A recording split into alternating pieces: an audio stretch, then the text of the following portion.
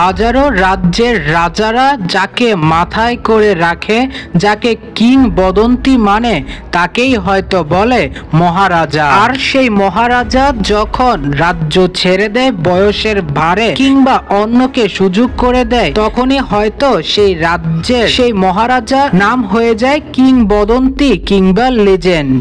আর সেই মহানায়ক, মহারাজা, মহানবাবের নামের পাশে কিংবদন্তি শব্দটা যুক্ত হচ্ছে আর মাত্র দু এক মাস পরেই। হ্যাঁ বলছি সাকিব আল হাসানের কথা। দু টি টোয়েন্টি বিশ্বকাপের মধ্য দিয়ে টি টোয়েন্টিকে বিদায় জানাতে চলেছে এই কিংবদন্তি।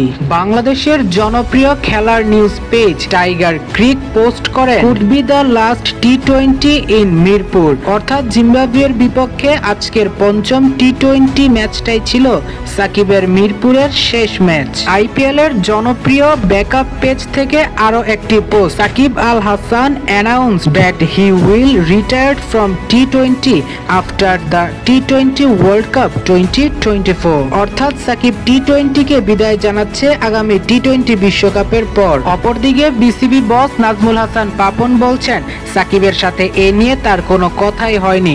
সাকিব অবসরে যাচ্ছেন কিনা সেটাও তিনি জানেন না। কিন্তু আসলে তা কি সত্য? সাকিবকে নিয়ে পাপন কিন্তু একটু আড়ালেই। কেননা সাকিবের অনুমতি ছাড়া সাকিবের কোনো তথ্য নাজমুল পাপন কখনোই বলেননি।